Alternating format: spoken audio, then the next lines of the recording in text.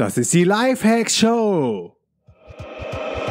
Willkommen zur Lifehacks Show. Lifehacks gibt dir selbst erprobte Hacks und Tipps für dein bestes Ich. Und hier ist ein Crash-Test-Dummy für ein besseres Leben. Markus Meurer. Ich bin ein riesen Airbnb-Fan und das nicht ohne Grund. Airbnb ersetzt die Hostels dieser Welt. Auf Airbnb findest du weltweit Wohnungen mit schnellem Internet zum günstigen Preis. Gehe jetzt auf www.dnx-berlin.de slash Airbnb und du bekommst 30 Euro Reiseguthaben von mir geschenkt.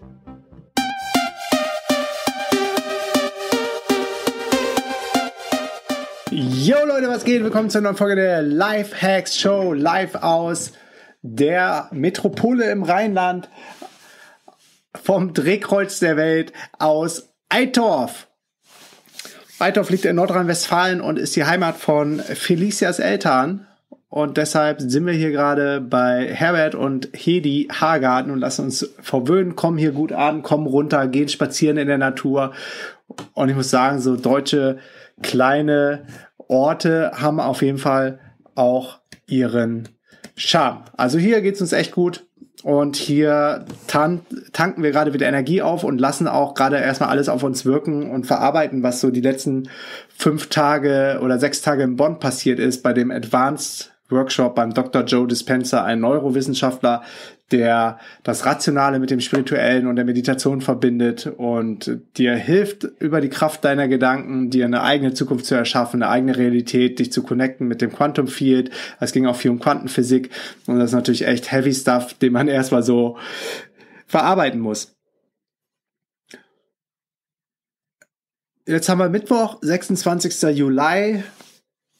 Wednesday ist Mittwoch, ne? Ja. Und äh, Samstag geht's dann auch schon wieder weiter nach äh, Neu-Isenburg, beziehungsweise erstmal nach Frankfurt, Neu-Isenburg und dann treffen wir uns mit dem Tobi Beck für einen Mastermind und machen Sonntag beim Tobi dann auch die Masterclass of Personality mit. Haben Montag noch ein spannendes äh, Meeting in in Frankfurt und dann sind wir erstmal wieder zehn Tage in Berlin. Da geht's dann auch richtig ab mit verschiedenen Events und Terminen. Und ein Event kann ich schon mal announcen und zwar bin ich bei den Jungs und Mädels vom Awesome People Space am Start. Den wollte ich mir natürlich auch gerne mal persönlich angucken. Und wenn ich mal in Berlin bin, dann äh, mache ich das natürlich auch. Und zwar am 4. August kannst du dir schon mal einen Kalender anstreichen. Freitag, 4. August, 18 Uhr, wird es ein Podcasting-Live-Event bei ähm, Robert Gladitz geben, der der Host von dem APC Space ist. Und ich würde mich total freuen, wenn du da mit am Start bist. Ansonsten für alle Solopreneure und alle Unternehmer, die Verstärkung suchen, ähm, die Aufgaben abgeben wollen, die einen Experten suchen für ihr Team. Es gibt eine Folge, die verlinke ich euch in den Show Notes. Ich schreibe das mal eben hier auf mein analoges, in mein analoges Notizbuch rein. Und zwar haben wir letztens eine Folge gemacht mit dem Stefan Gerd von ähm, Bewerbungsschreiber.de zur DNX Jobbörse. Und die Jobbörse performt sowas von krass, dass wir ganz, ganz oft von Leuten, die einen Job einstellen, zwei, drei Tage später eine E-Mail kriegen und sagen, bitte nehmt die Anzeige offline. Ich habe jetzt so viele Bewerber und ich, ich bin gerade zwei am Testen. Ich komme nicht mehr hinterher. Also sie performt richtig krass. Die Jobbörse kostet 50 Euro pro Joblisting, aber weil du treuer Podcast-Hörer bist, geben wir die Chance, einmal die den X-Jobbörse kostenlos zu testen. Also die Performance von der Jobbörse darfst du kostenlos testen, um dich selber davon zu überzeugen, wie die Qualität der Bewerber ist und die Anzahl auch der Bewerbungen. Und dafür schreib einfach eine E-Mail an team at dnx-berlin.de mit dem Stichwort ähm, Jobbörsentest und sag, dass ich äh, dir das erzählt habe hier auf dem Podcast und dann bekommst du einen ähm, Code zugeschickt oder einen Voucher oder whatever. Ich weiß gar nicht, wie das technisch funktioniert. Auf jeden Fall darfst du dann ähm, kostenlos auf der Jobbörse posten. Alright, that's it. Was haben wir noch? Ja, äh, eine Sache, die ich mit euch super gerne teilen möchte, ist ähm, der wirklich war, wunderbare Mensch Eckhart Tolle und ich bin gerade ähm, voll in sein Wirken eingestiegen. Es gibt einen äh, super Online-Kurs Eckhart Tolle jetzt oder Eckhart Tolle Now.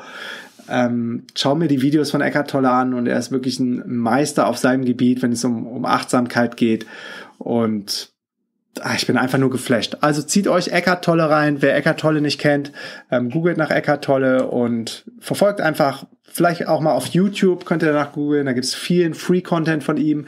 Eckart Tolle Now bin ich gerade in so einem ähm, in so einem Probe-Subscription-Freemium-Modell drin und bin mir relativ sicher, dass ich das dann auch umstelle auf Paid, aber es gibt auch super, super, super viel kostenlosen Content vom Eckart Tolle und ähm, Eckart Tolle ist echt ein Geschenk für diese Welt. Alright, lasst uns einsteigen in die heutige Folge und zwar gibt es einen krassen Energy-Hack und Energy-Boost und das weiß ich nicht erst seit dem UPW-Event in London mit Tony Robbins, wo es auch großes Thema gewesen ist, dass wenn Leute zu wenig Energie haben, dann liegt es ganz, ganz oft an der Atmung. Und ich möchte mit dir jetzt einmal diesen Test machen. Wenn du zuhörst, atme bitte einmal ganz, also wenn du auf dem Fahrrad fährst, bleib mal kurz stehen, stell dich mal rechts an die Seite und atme mal einmal ganz, ganz tief ein.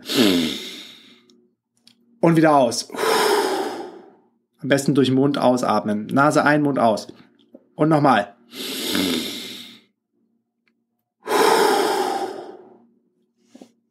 Und noch einmal. Mehr, mehr, mehr, mehr. Und aus. Und jetzt mach mal kurz einen Reality-Check. Wie hast du eingeatmet? Hat sich bei der Atmung dein Brustkorb angehoben oder hat sich bei der Atmung dein Bauch gewölbt, deine Bauchdecke gewölbt? Wenn das Erstere passiert ist, dann atmest du genauso wie 85% oder 90% aller Menschen in der westlichen Welt falsch. Und wenn das Zweite passiert ist, dann bist du einer der wenigen, der weiß, wie man richtig atmet und wie man die maximale Energie bekommt. Und ganz oft liegt es daran, dass Leute äh, müde, abgeschafft sind, ähm, gestresst sind, weil sie einfach zu flach atmen und äh, sie atmen dann in die Brust. Also wenn dann, ihr kennt das, man will tief Luft holen und der Brustkorb, der weitet sich, weil natürlich die Lungenflügel ähm, voller Sauerstoff gefüllt werden und ähm, dadurch weitet sich dann der Brustkorb und dann atmest du wieder aus. Was du dann aber nicht machst, ist, dass du, das sind ungefähr 20 oder 30 Prozent von deinem ähm, von deinem Volumen, was du nicht nutzt, für zusätzlichen Sauerstoff, den du in deinen Körper bringen kannst, der so enorm wichtig ist für deine ganze Energie und für, dein, für deinen ganzen Haushalt, äh, was alles in dem Körper passiert. Und das machst du, indem du in den Bauch einatmest. Und wir haben es leider, leider, leider, ähm, ähm, leider verlernt, wie man richtig ähm, in, den, in den Bauch atmet. Ich schau mal eben. Und der, Haupt, der Hauptgrund, also das Spannende ist auch, dass ähm, ganz natürlich äh, Embryos und kleine Kinder und auch Erwachsene, also du und ich, wenn wir schlafen, ganz natürlich in den Bauch atmen. Nur wenn wir dann tagsüber unter Stress sind und in unserem Alltag sind und vielleicht noch auf einem, ähm, auf einem Programm fahren, das in, durch unser Unterbewusstsein ausgespielt wird, dann ähm, verlieren wir in dem Wachzustand die Fähigkeit, in den Bauch zu atmen. Und der Hauptgrund ist ganz einfach Stress. Also wenn du unter Druck gerätst, dann, dann spannt sich nämlich vorne der Solarplexus und das ist ein wichtiges Kontrollzentrum von deinem, von deinem zentralen Nervensystem. Und ähm, das spannt sich dann im Bauch an. Und das verhindert die natürliche Bewegung des Zwerchfells. Was auch passieren kann, sind einfach, ähm, dass man veraltete Bilder im Kopf hat, wie zum Beispiel dieses Bauch rein, Brust raus. Und dass man dann äh, unbewusst äh, äh, auch so atmet. Oder ähm, bei Frauen oder Mädels ist es, äh, ist es manchmal ausgeprägt, dass man, dass man äh, unbewusst immer den Bauch anspannt, weil man eine schlanke weibliche Taille haben will. Und das verhindert dann auch die korrekte Bauchatmung. Und die Bauchatmung ist die Atmung, die den größten Teil deiner Lungen belüftet und ähm, die dir hilft, das Maximum an Sauerstoff in deinen in deinem Körper reinzubekommen. Und bei der Einatmung zieht sich das Zwerchfell zusammen und das bewegt sich nach unten gegen, gegen quasi deinen Unterleib, gegen die Organe im Unterleib. Und das drückt dabei den Bauch nach außen und führt die Luft tief, tief, tief in den unteren Teil der Lunge. Also die Lunge sind nicht nur die Lungenflügel, die unter den Rippenbögen sitzen, sondern die Lunge geht noch weiter. Kannst du dir dann auch mal anatomisch anschauen, wenn du vielleicht mal nach Lunge googelst bei Google Images, dann siehst du genau, wie weit auch die Lunge noch nach unten geht. Und bei der Ausatmung entspannt sich dann entsprechend das Zwerchfell und der Bauch bewegt sich wieder nach innen zurück und dabei entsteht ein sanfter Druck gegen den unteren Lungenrand und die Luft, die wird wieder herausgepresst. Es lohnt sich 100% Zeit und Effort und Aufmerksamkeit in wirklich in, ja, in die Entwicklung von der richtigen Atmung, in, in die Entwicklung von der richtigen Bauchatmung zu investieren. Für mich ist es jetzt seit, seit ähm, ja, seit einem knappen halben Jahr Thema, dass ich bewusst jeden Tag 10, 15 Minuten in den Bauch atme oder auch, wenn ich dann abends im Bett liege, dass äh, man ja eh unbewusst irgendwann dann anfängt in den Bauch zu atmen, aber vorher dann conscious, also bewusst schon in die Bauchatmung reingeht und auch first thing of the day, wenn ich morgens aufstehe, dass ich darauf achte, dass ich in meinen Bauch atme. Und immer wenn ich irgendwie mich dabei erwische, nicht in den Bauch zu atmen, dann nochmal erst recht irgendwie eine Minute oder sich zwei Minuten Zeit zu nehmen, in den Bauch zu atmen, um das wieder zu lernen, was wir leider in der westlichen Welt, äh, in der stressigen Welt verlernt haben. Und die bewusste Atmung, die bringt dir dann Entspannung, Dynamik. Ähm, bei Yogis ist es schon, schon ganz lange bekannt. Ähm, übrig, übrigerweise auch bei, bei asiatischen ähm, Kampfsportarten. Da wird auch immer wieder in den Bauch geatmet. Beim Krav Maga haben wir auch zur Entspannung, wenn du dann diesen militärischen Drill gehabt hast, ähm, Krav Maga ist ein äh, militärisches Selbstverteidigungssystem aus Israel, wo, wo du wirklich krass, krass an deine Grenzen gebracht wirst. Und ich bin äh, Träger von dem, von dem P3-Patch. Ähm, und habe dementsprechend dann auch schon viele Einheiten Krav Maga hinter mir. Und wenn du dann nach so einem aufgepeitschten Drill wieder runterkommst, haben wir auch als erstes immer wieder gelernt, in dem, äh, in dem Bauch zu atmen. Und Bewusst wird das auch von guten Sängern gemacht oder ähm, geübt. Immer mehr Spitzensportler üben die korrekte Bauchatmung, weil sie einfach mehr Energie und Sauerstoff haben. Blasmusiker zum Beispiel ähm, wissen es auch schon sehr lange, dass die richtige Bauchatmung wichtig ist, um mehr Volumen ähm, in die Lungen reinzubekommen, um mehr Sauerstoff in die ähm, mehr Sauerstoff in den Körper zu bekommen und dadurch dann mehr Energie zu haben. Also du wirst auch ähm, nicht mehr so müde sein, du wirst nicht mehr abgespannt sein, du wirst nicht mehr schlaff sein, wenn du korrekt in deinen Bauch atmest. So, checken, was ich mir noch aufgeschrieben habe. Mm, das haben wir alles. Ich denke, es ist rübergekommen, warum es, warum es so wichtig ist, ähm, in den Bauch zu atmen und warum es so wichtig ist, korrekt zu atmen. Und es ist wirklich erstaunlich und es ist krass, wie viele Leute falsch atmen. Also mir war es ja vorher auch nicht bewusst, nachdem, bevor ich ähm, darauf aufmerksam gemacht wurde, dass man viel, viel mehr Sauerstoff noch in sich aufnehmen kann, als äh, den, den man, den man über die Brustatmung ähm, aufnimmt. Paar, vielleicht noch ein paar Zahlen und Fakten ist ganz interessant. Jede Minute holt ein erwachsener Mensch 12 bis 18 Mal Luft. Und Kinder zwei bis dreimal so oft.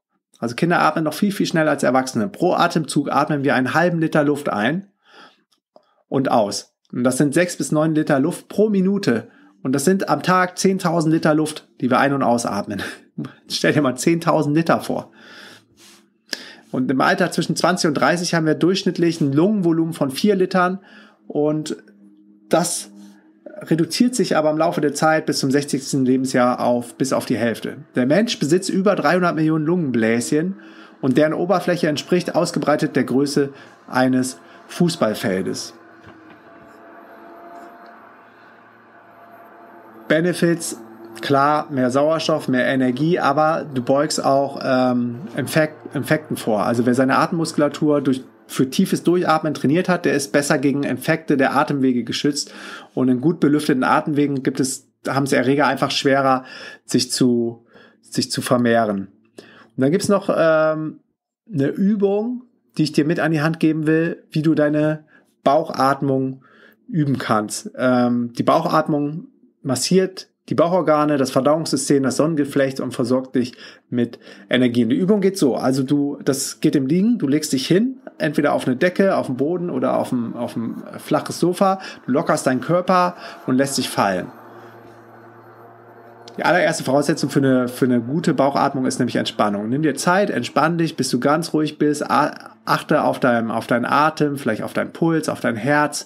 Und die zweite Voraussetzung ist Konzentration. Jetzt konzentriere dich voll auf das Atmen. Folg gedanklich den Atem von ganz oben bis ganz unten oder konzentriere dich auf den Moment, wo dein Einatmen zum Ausatmen wird, ohne ihn selber zu beeinflussen. Also das, was du dann bei der Meditation schon gelernt hast. Einfach, einfach ähm, accept, believe and surrender. Einfach akzeptieren, was ist und nicht versuchen, das zu beeinflussen. Und wenn du das hast, diesen State, legst du die Hände auf deinen Bauch zwischen deinem Bauchnabel und dem Brustbein und du konzentrierst dich auf der Nabelhöhe, ähm, deine Hände auf die Nabelhöhe und du atmest ganz bewusst gegen die Hände ein und aus. Und beim Einatmen hebt sich deine Hand und beim Ausatmen senken sich deine Hände. Und das machst du insgesamt zehn Mal. Und dann gibt es noch eine zweite Übung. Und zwar die Bauchatmung, das war jetzt im Liegen, die Bauchatmung im Sitzen. Also eine gerade Sitzhaltung ein, auf dem Boden, auf dem Stuhl, auf dem, äh, auf dem äh, Meditationskissen, Wirbelsäule gerade wie bei der Meditation, Kopf hoch, also Kinn parallel zum Boden. Und dann wieder die Hände auf den Bauch legen zwischen Nabel und Brustbein. Und genau wieder dieses entspannte Ein- und Ausatmen. Und äh, dabei achten, darauf achten, was passiert. Die Bauchatmung, die entspannt, die baut Stress ab und die massiert die inneren Bauchorgane. Und so kannst du dann deine Verdauung verbessern. Alright, that's it zum Thema Bauchatmung über Brustatmung. Mach dir einfach bewusst, wie viel mehr Energie in dir selber drinsteckt, wenn du die, wenn du deinen Körper entsprechend mit Sauerstoff versorgst. Ja, that's it aus Eidorf. Wer Bock hat, fette Preise zu gewinnen, unter anderem ein Ticket für das DNX Main Event mit ähm, Workshops oder ähm, 50 Euro Amazon-Gutschein, den X-Video-Paket oder Tickets für sechs Jahre Weltreise von Nick Martin oder den Wireless Live Guide, der macht bei unserer Umfrage zur DNX Academy mit. Und die DNX Academy ist deine Number One Online-Universität zu allen, allen wichtigen Themen des Lebens, um die beste Version von dir selber zu werden. Und die Umfrage findest du unter dnx-berlin.de slash Academy. Ich bin jetzt raus und wir hören uns morgen wieder mit einer neuen Folge von der Lifehacks Show. Yes, that's it. Alright, chaka. Peace and out. Yes, yes, yo, Leute, that's it. Bevor du gehst, noch drei Sachen. Erstens, geh jetzt auf www.podcastbewertung.de und gib mir eine Bewertung und Rezension für diesen Podcast. Zweitens, geh jetzt auf www.dnxcommunity.de und connecte dich mit tausenden von anderen Lifehackern und angehenden digitalen Nomaden. Und drittens, geh jetzt auf www.dnx-berlin.de slash news und trag dich in den kostenlosen Newsletter ein. Dort bekommst du meine sieben Erfolgsgeheimnisse und einen 50 Euro Gutschein für die nächste DNX in Berlin. Alle Infos zur DNX und das Programm findest du auf www.dnx-berlin.de. Peace and out.